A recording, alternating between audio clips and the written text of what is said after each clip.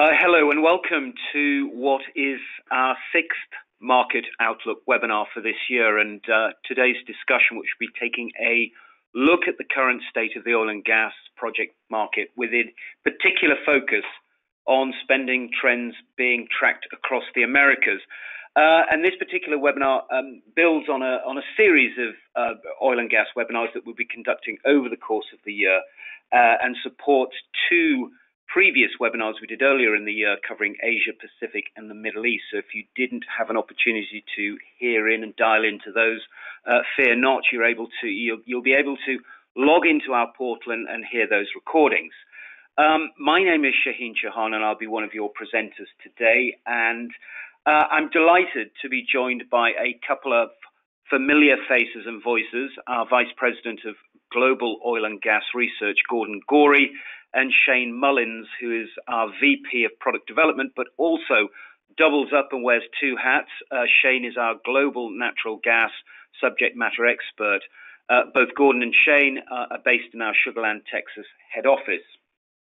Before we start and and jump into the numbers, uh, I would like to, first of all, just say a very big thank you to our webinar sponsor, Parker Hannifin. Parker are a major global provider of motion and control technologies and have been serving the oil and gas sector for a number of years, well over 50 years. So many thanks to Parker for their support today. Now, I thought I would start uh, the session by just really taking a quick look at where we are right now in terms of the outlook for crude. Um, the Balancing Act really does continue to make ground. We've seen some decent and, and fairly solid demand growth for 2018, and that looks to remain fairly steady throughout the year. And obviously, that's being supported by adherence to those production cuts by OPEC members, and that's really helping support that rebalancing, as well as a little bit of support also from some um, increased declines coming out of Venezuela and some lower output in Africa, uh, certainly in this first quarter. And that's really resulted in global stocks being only marginally above that five-year average. But uh, there's obviously still a little bit of uh, cautiousness in the market. We do continue to see some fairly high volumes Uh, of production increases coming out of the U.S., and obviously a lot of that uh, is finding its way into the export markets. We've seen ex- U.S. Uh, crude exports increase quite rapidly over the first quarter of this year, and that could possibly soften some of the work being done by OPEC. Although there is an expectation that U.S. refining rates are going to improve. They're already up, and that could help absorb a little bit of that increased U.S. production should those pipeline bottlenecks get resolved. Everybody's always interested in pricing. The forecasters are out, uh, you know, and it varies. Most feel that maybe the late $60s to $70 a barrel, mid-$70s should look about right for this year. Um, and that's, of course, should there be no real material shocks to the market, and obviously that can't be guaranteed.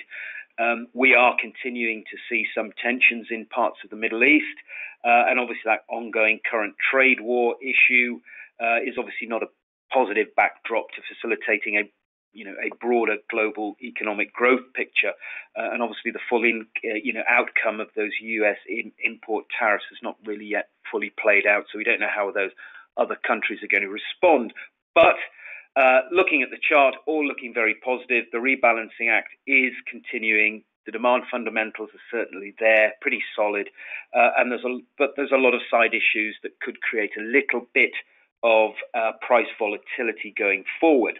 So, what does that mean for project spending, the actual numbers? Well, we can see here on the left, uh, a little over 430 billion is already under construction. Uh, that's already kicked off, and that's very much in line with what we've actually seen over the last 18 months, those sorts of volumes. But more importantly, we can see this hefty 1.76 trillion that's still active.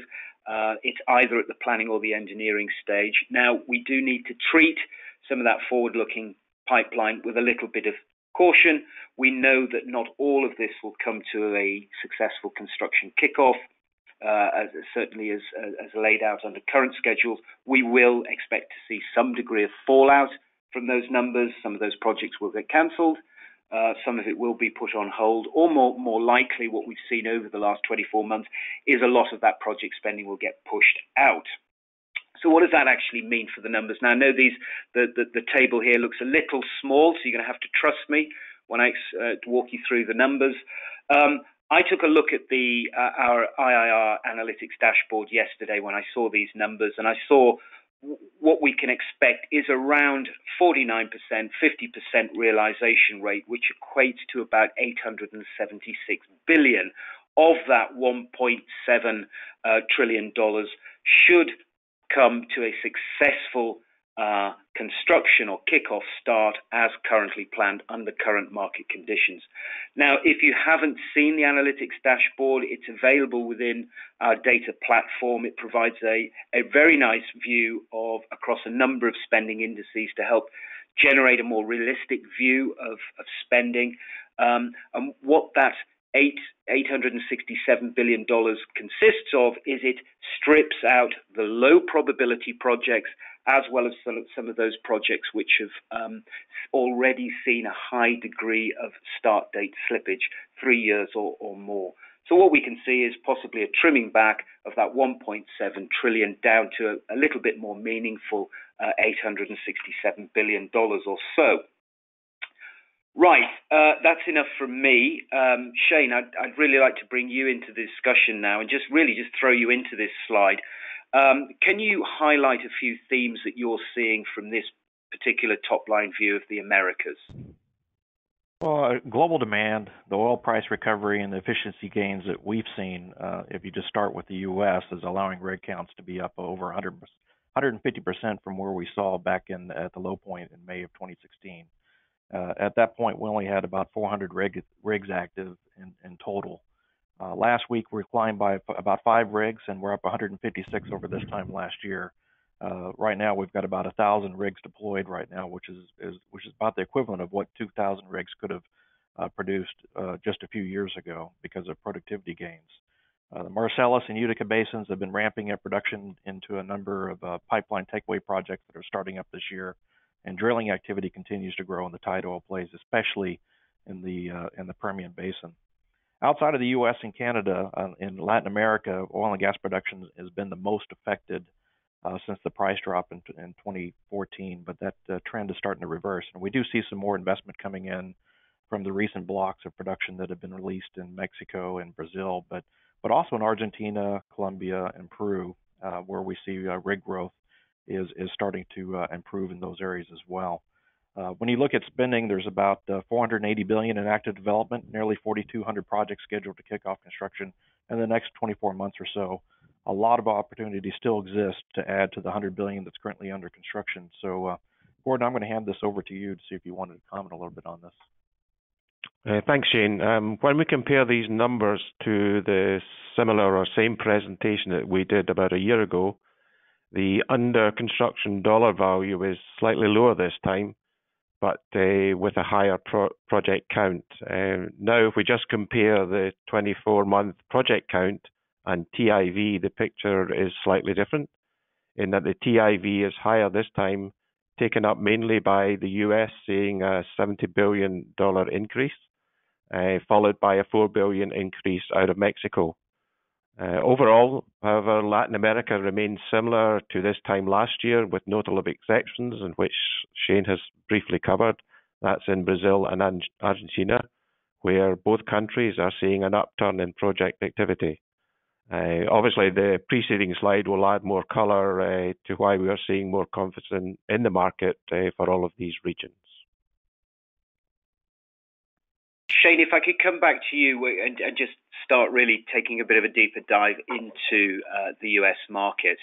Um, we can clearly see from the composition of the spending here on that chart in the bottom left that there is uh, certainly a very big focus on natural gas. We see some very big volumes, and that just seems to keep growing. Uh, in terms of planned spending. But um, could you just share with us, do you feel that the levels of spending that we are seeing, uh, certainly looking forward, is it warranted and justified? Well, yes. I mean, first, I, the levels are high. Uh, dry gas production is expected to reach 80 BCF this year, and that's way up from what we saw 75 BCF last year. that's more growth than what uh, is, is being consumed in Argentina alone just in one year.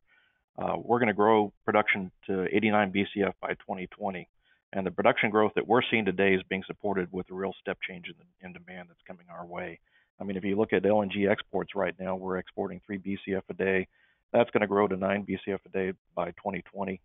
There's 31 gigawatts of new power generation currently under construction that's going to add about 4.5 uh, BCF a day of demand. Uh, if you look at the pipelines that are that are going to be coming online this year in Mexico, Mexico could easily be absorbing an additional 2 BCF a day if those lines had, had have come online already. Uh, you're going to see industrial petrochemical demand uh, add another uh, BCF a day over the next year as these ethylene crackers start up uh, and, and ammonia and methanol facilities come online.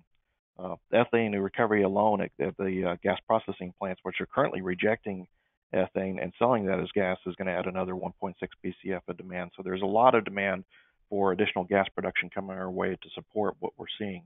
And, and that's going to continue with the abundance of gas that can be economically developed. Uh, if you just look at the uh, the record exports of LNG via Mexico and associated gas production in the uh, uh, oil in Appalachia, it, it, that's that's going to be limiting Henry Hub prices to an average that's below three dollars for many years to come. So we've we've got a, a, a lot of opportunity to to grow demand with low prices in that range. With that said, there's more LNG liquefaction trains on the books than's warranted to meet that demand uh, uh, from an international perspective uh, in Asia. But we do expect to see at least three projects receive a financial investment decision in the next year. Uh, uh, our, our, picks uh, out of the projects that are currently on the books would, would have to be Cheniere Energy moving forward with another train, and and perhaps at least ExxonMobil moving forward with the Golden Pass. And and if if if things go right for Canada, LNG uh, Canada's project up in Canada. Uh, to, I'm going to hand this over to Gordon to see if he can uh, touch on the cause and effect of this additional production as well. Yeah, thank thank you, Shane. Uh, so following on from Shane, uh, on the crude side, uh, we're continuing to see more, a lot more pipeline and storage projects to support this increasing domestic production and obviously the subsequent export. Uh, from a pipeline side, we're seeing more projects to get crude to the Gulf Coast, i.e., Houston, Corpus, and or southern Louisiana.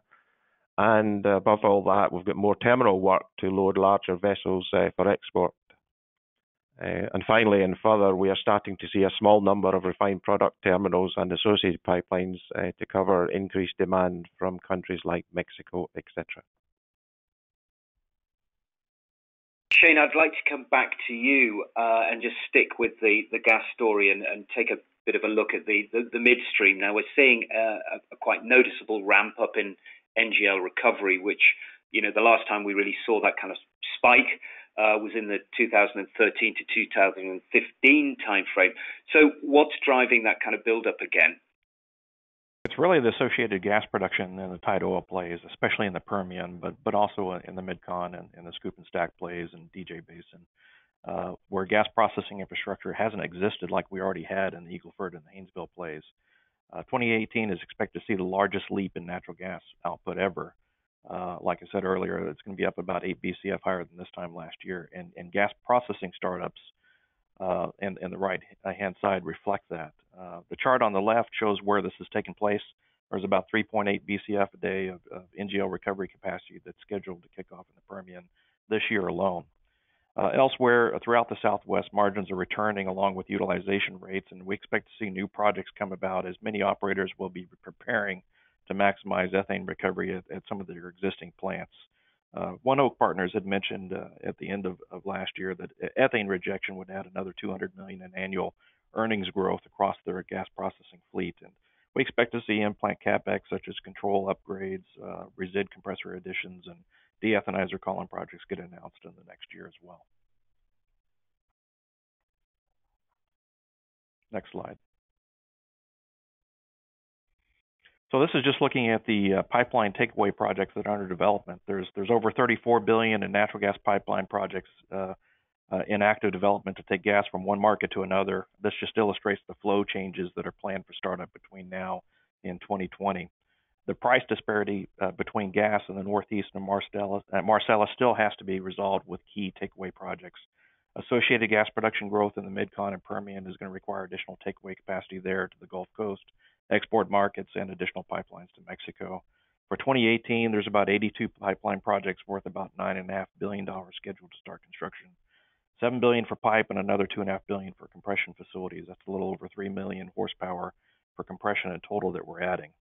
Uh, elsewhere in areas such as New England, eastern New York, New Jersey, eastern Pennsylvania, and the Carolinas are likely to continue to be stressed on the supply side as, as pipeline projects are having a difficult time to move forward. Now, if we could shift gear a little and, and, and head north, guys, into Canada, um, I, I, would like to stay with you a little longer, Shane, if I may. Uh, could you just give us uh, an update on, on, on the gas market in particular and what kind of spending we're expecting to see? Well, in Canada, we, we're experiencing very low gas prices and, and, and a lack of ability to get that gas out of the region. Uh, the, the real focus right now is on the liquids rich play, plays in general. Uh, Alberta is going to remain a very attractive place for liquids rich production, and this is going to require additional processing capacity. Uh, the existing gas processing plants that were built in the 60s and 90s are underutilized because they're not located in areas where production has been growing. Uh, NGL demand from domestic petrochemicals is going to remain strong, and Alberta's feedstock infrastructure incentives program is going to inject another 500 million in loan guarantees and grants to support midstream projects. So we expect to see an additional 1 billion of NGL recovery trains, fractionation, and pipeline construction in Canada in the next two years with the focus really being on the Montney and Duvernay region to feed the petrochem plants coming online in the 2021 22, 22 timeframe.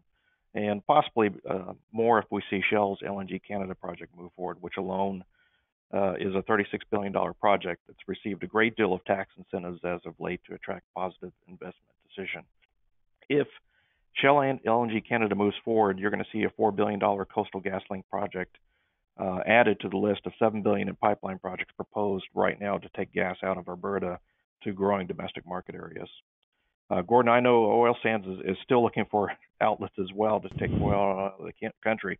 Can you shed any light on the progress that they're making? Um, yeah, thanks, Shane. Uh, it's a similar story to some of the gas pipelines, and when considering oil sands, uh, Canada has lots of potential, but it's been held up in, in what I would say every way imaginable. Just when oil sand projects were looking to move forward, more pipeline delays have appeared. For instance, Kinder Morgan's Trans Mountain project essentially has Alberta, British Columbia, and the federal government of Canada fighting over the future of the line and who has the final say. However, uh, on a more positive note, we're beginning to come across other companies investing in efficiency upgrades, debottlenecking projects in order to somewhat lower their operating costs uh, as well as we're beginning to see um, a slight increase in maintenance activity. Now, Gordon, I'd just like to to stay stay with you a little. Um, you know, I, I, touched earlier on this sort of ever increasing uh, U.S. production volume that's just really doesn't seem to sort of hold up. Do you see that these kind of levels of production growth? Do you see, see these as sustainable? And, and, and do you think it could actually unbalance the market a little bit? Um, Shaheen, I, have to agree with your opening uh, when you made your opening remarks about uh, global oil demand. Um, in that 2018 and 2019 growth remained steady, uh, and dare I say, looks to be quite strong. Um, underpinning all of this is the strongest global economic fundamentals in a decade. Decade, sorry. Um, U.S. production uh, averaged about 9.3 million barrels per day in 2017, and by all accounts is forecast to average 10.3 million barrels per day for 2018. And uh, per a recent EIA forecast, uh, could even surpass, surpass 11 million barrels per day by late 2019 and perhaps earlier. Um, almost all of this growth is proposed to come out of the Permian Basin in West Texas, and that growth is going to fuel midstream development over this same time time period. Shane, uh, Shaheen, sorry, could you bring up the next slide? Um, I, I have to bring in the Gulf of Mexico here. Uh, sometimes I, I is not always taken into account. So now looking at the U.S. Gulf of Mexico, uh, you, for this off, offshore region is contributing to the overall oil and gas production by some 1.6 million barrels per day as of January this year, uh, which is not insignificant, I might say. Now, when you compare this to the previous slide, this would place it above the Eagle play, that is on its own producing 1.3 per day million barrels per day, uh, but still a lowly second compared to the Permian play producing about 2.6 million barrels per day. Um, going further, still the U.S. Uh, Gulf of Mexico is, is anticipated to add another 300,000 to 400,000 barrels per day by late 2019. Um, and just of note, operators have delayed FID on several of the larger new developments, but are proceeding with smaller, less capital intensive alternatives to achieve similar results. Uh, that would be such as uh, subsea tie-ins, etc. Also, when producers are faced with the choice of high cost offshore development versus lower cost, quicker return offshore shale development, uh, the latter is typically the choice. Uh, despite this, producers are aware that there is a long term objective uh, and the money will have to be invested soon. So keep that to keep them in the lead in the future. And I think on the left hand side, uh, you can see some of the future spending that we're looking at. Shaheen, could you maybe bring up the next slide? Uh, okay, now that we have discussed uh, all the current production and future projections, uh, there's still a need for transporting what I would call the black gold to demand centres for processing by local refiners or to export. And we're currently tracking somewhere around about 44 billion of new crude oil pipeline activity an increase of 3 billion since our last update, uh, around about October last year. Excuse me. Now, referencing the table on the lower left, there could be a sharp increase in pipeline spending this year as a result of the three projects that could move forward. Let's start up north with Canada. We'll need more pipelines built through to 2030 to transport an additional 1.3 million barrels of expected increase of oil uh, out of the oil sands production uh, to various markets across North America and exporting around the world. We're still tracking three pipelines to move oil sand barrels from Western Canada. Two of the three are tied up with the legal proceedings, and the KXL is awaiting FID.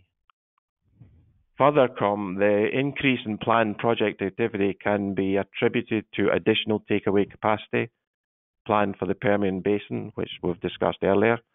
In the beginning of 2017, there were three projects planned, but over the past four months or so, another eight have been identified, bringing the total to 11 pipelines that could carry over potentially 2.6 million barrels per day.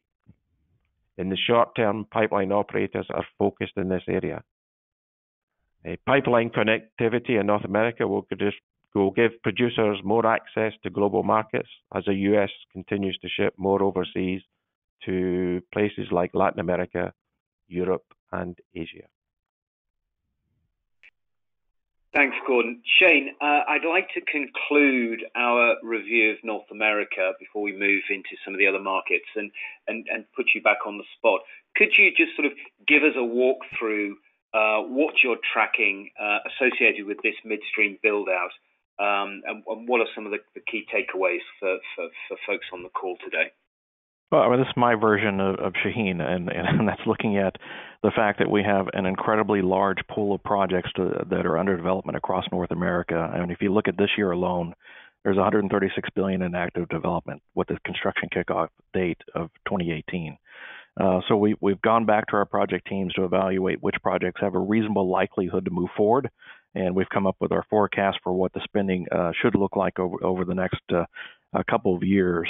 Um, Projected supply and demand imbalances and permitting may cause a lot of project delays, and we realize that over the next year. But as we look forward, we believe we're going to see about 33 billion per year spent on midstream infrastructure investment, and we're cautiously optimistic that in addition to the smaller scale LNG projects that we see moving forward this year, that we're going to witness some of the first large LNG trains uh, required for the next wave to receive approval this year, uh, with construction kickoff uh, uh starting in, in 2019. Uh, so in the forecast, we include two LNG trains in the 2019 uh, kickoff forecast. Uh, the forward spend is going to continue to be focused where producer economics are the best, such as this, the Permian and the Scoop and Stack plays for, for crude and, and the Marcellus and Utica for natural gas. Thanks, Shane. Now, I wanted to make sure that um, we freed up sufficient time on some of the other bigger Latin American markets. And so, Gordon, I, would like to kick, kick this section off with you. Could you give us a walkthrough of some of the main spending areas that you're tracking and uh, certainly how the how the, the, the recent energy reform program that's been implemented how, how is that shaping or reshaping the profile investments being planned and, and moving forward uh, Shaheen, yes, on the reform uh, of their uh, hydrocarbons in Mexico. Um, as most of us are aware, Mexico enacted legislation last April allowing other companies, uh, albeit other than Pemex, to import fuel for the first time since the 30s, 1930s that is, uh, to meet rising petroleum product demand. Pemex's national pipeline system uh, is a fraction of the size of, say, a network in Texas, so cargoes tend to be carried by truck, uh, which comes at a high price. Storage capacity at ports is strained uh, as Pemex imports more, more gasoline to compensate for declining domestic output. The lack of infrastructure to, to transport and store fuel uh, is leading to planned storage and refined product pipeline projects, uh, as I said, to lower their costs. Um, just going on, a further step forward was taken in January this year when Mexico's uh, National Hydrocarbon Commission accepted bids on 19 of the 29 par- parcels at auction for the, the Gulf of Mexico and mainly the deep water and it's interesting to note that, one of the most successful bidders at the auction was Shell, which won nine of the 19 blocks that were awarded.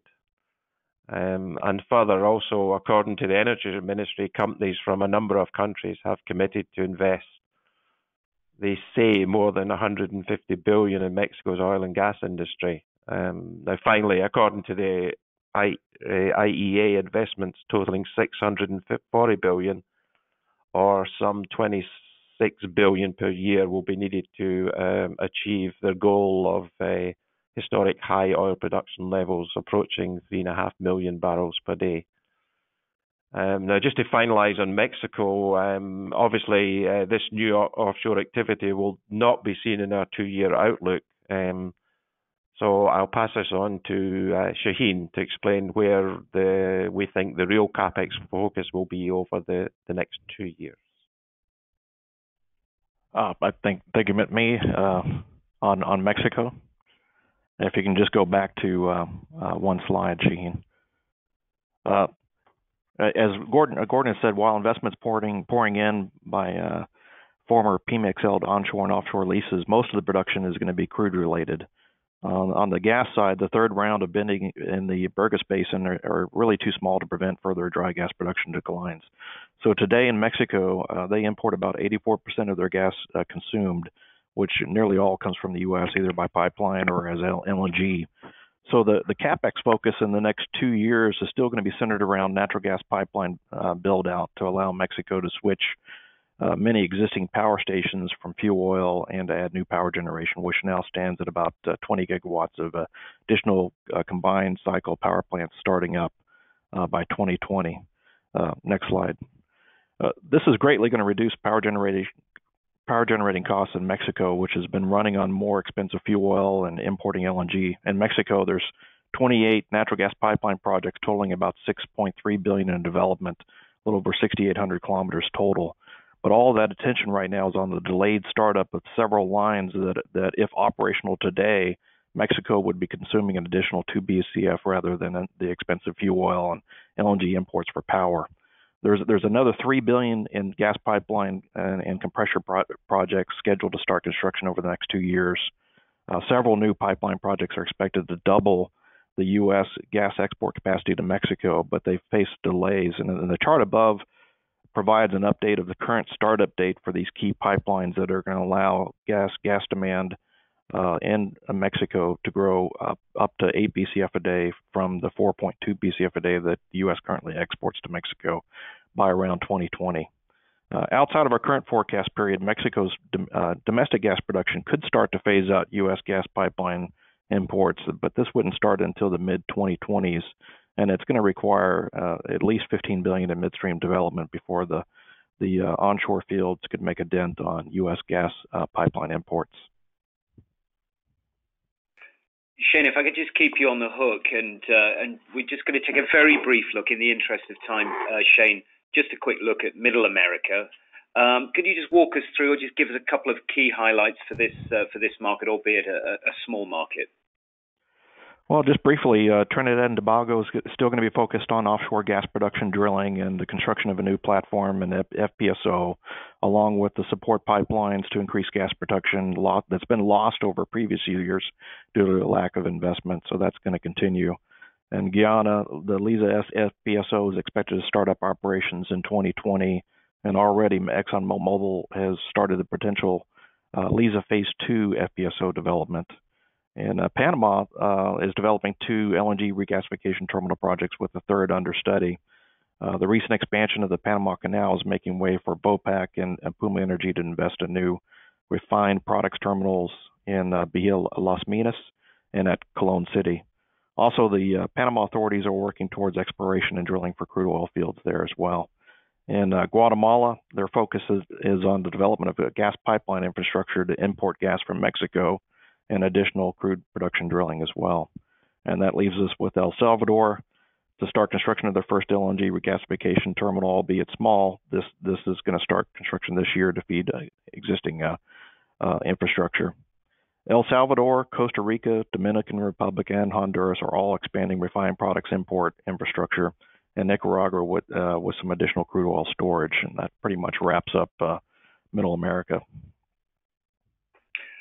Uh, Shane, we've got a couple of slides just remaining, um, so uh, just keeping you keeping you engaged. Uh, we've taking a bit of a deeper look at, the broader picture for South America. Now, we've obviously a very varied set of economies in terms of economic health, and obviously a wide range of natural resources on offer. Um, and obviously, for no other reason that, as we can see here, that there is slightly more gas spending. Uh, could you just walk, start by walking us through some of the key points uh, and some of the main drivers that's shaping that $19 billion of planned investment? Well, the, majority of the spend in South America is going to be focused on Brazil and Argentina in the coming years, but uh, elsewhere, and we've got a slide set aside for those countries. So I'll just focus on some of the other hotspots. In Colombia, production declines have led to import projects, including development of a second LNG FSRU for energy security. The first uh, FSRU that they brought online has only received a couple cargoes so far, but that's only directly tied to some power plants. The second project would be tied to the actual uh, gas pipeline infrastructure, and they uh, expect to get more utilization out of that project if it can start construction in the next couple of years. Uh, their key focus is on a number of pipeline projects which have been delayed from previous years that are still under development. That totals about seven billion in investment. Uh, uh we, we do expect 2018 to be a better climate for new construction over the previous two years on higher oil prices, but the big issue in Colombia is the leftist rebel groups are attacking pipeline infrastructure and uh, the local com- communities are, are protesting and blocking access to some of the production fields there. Uh, in Chile, domestic production is low, but it's rebounding, and there's a promising development in southern Chile and the uh, Magallanes uh, area, but not enough to displace uh, LNG imports so far. They've got a couple LNG import projects there that have run into some environmental permit delays and there are now some doubts being cast on whether one or both will move forward with the advancements of renewable energy and also in Argentina as being a potential uh, uh, com- uh, country that can send exports to Chile. And uh, in Bolivia, Repsol, Petrobras, and Shell are going to be investing about 1.6 billion in to increase natural gas output after years of low exploration development. Uh, Bolivian production otherwise would not be enough to meet their uh, current export commitments with Brazil. Uh, they currently export to Brazil, and they've they've had uh, a lot of domestic demand growth uh, increase because they've started up a number of remotely located small-scale LNG regasification uh, facilities across the country that's that's now consuming a lot more more gas from their existing uh, uh, production. so there, over the next year, we're going to see about a billion dollars in additional pipeline compression and processing start construction in Bolivia. in Venezuela, oil production declines of, oil are down another 20% since last year. We don't expect to see a lot of gas projects move forward there. Uh, I'll just hand this over to Gordon to see uh, what we can expect to move forward in Venezuela. Uh, thank you, Shane. Uh, well, there's not much to be said about Venezuela uh, over and above what most of us are keenly aware of, such as a major currency devaluation and the political situation that's keeping uh, international companies from investing in the country. Uh, with that said, we are tracking some 1 billion or so of spend over the next couple of years, some of which is related to pipelines, maintenance activity, as well as uh, what I would call a somewhat major spend covering expansion to an existing NGL fractioning plant.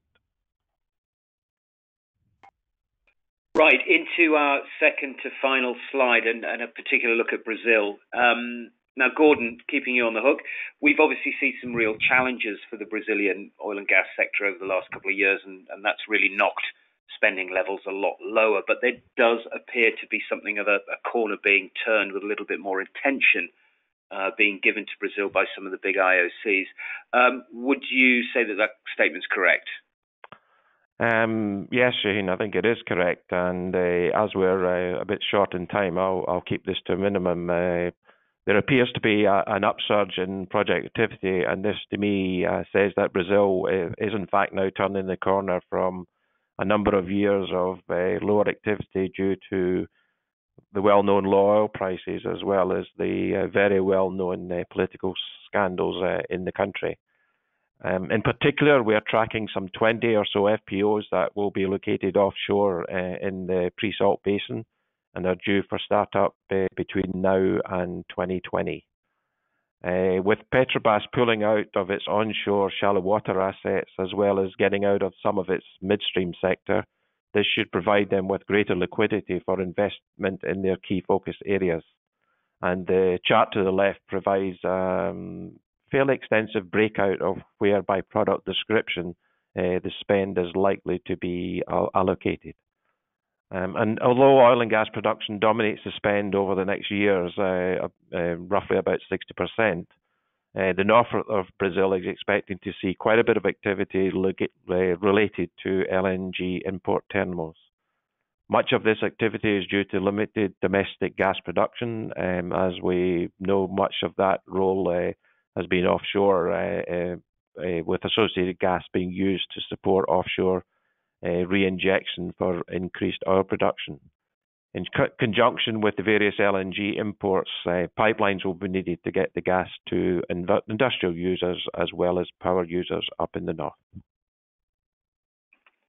Right, Shane, uh, our last slide, and, and, bearing in mind the weighting towards uh, gas related spending, you've got the honour of, uh, of walking us through some of the trends that we're seeing, particular to, uh, to this market. Well, in Argentina, the uh, President Macri is is throwing everything in the kitchen sink to to get investment into Argentina. Uh, he's got new agreements between the oil companies and the workers' unions. Uh, we haven't seen any strikes in the last year, uh, which is good news. Uh, there's the taxes on oil exports have been removed. Uh, tariffs have been cut on used oil equipment coming into the country, and they've even set a firm price of uh, paying seven dollars and fifty cents for new gas production uh, that'll gradually reduce through 2020, but they're paying more for domestic gas production than they are for LNG imports to stimulate investment, and, and that's why we're seeing about six billion in investments come in from BP, Chevron, ExxonMobil, Shell, even Statoil in Total, among others. And uh, now, now with the, the the sand needed for fracking uh, being worked out, uh, that's being locally produced. Uh, uh, we can start to see fracking start to take off in, in that country. Uh, Overall, gas production in 2018 is expected to be up uh, significantly, about 20 to 30 percent. Uh, and this is enabling uh, President Macri to set a new goal to displace LNG imports by 2021. It's a lofty goal, but uh, production from shale gas was not dis- actually expected to be able to push out LNG for another 10 years uh, just a short time ago. Uh, and now they're looking at doing that by 2022, as there is thought to be t- way too much infrastructure to build up before this could occur. Uh, but currently, there's about a billion dollars in gas gathering and processing, and another 3.6 billion in active pipeline development, including the water pipelines planned to start construction in the next year and a half. Um, in total, we're tracking about nine and a half billion across the country in midstream uh, build out, Uh, but in the next five years, we'd, we'd expect there to be about 19 billion uh, for uh, Argentina to become a net, net exporter of gas uh, from their country.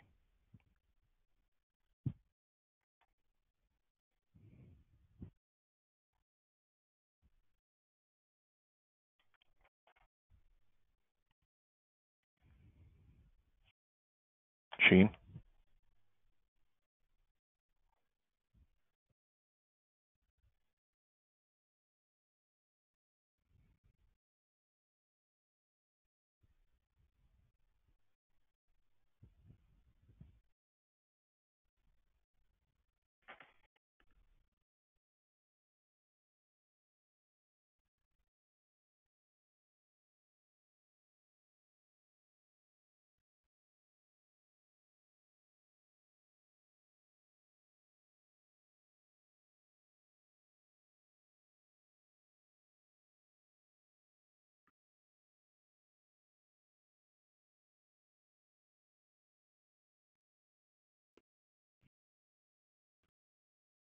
Uh, it looks like we've we've lost Shaheen. This is Gordon here. Um, we've we've scrolled through a, a, a few of the the final um, slides, which uh, we would like to thank uh, first of all our partner Parker, um, and uh, thank them for their contribution to this.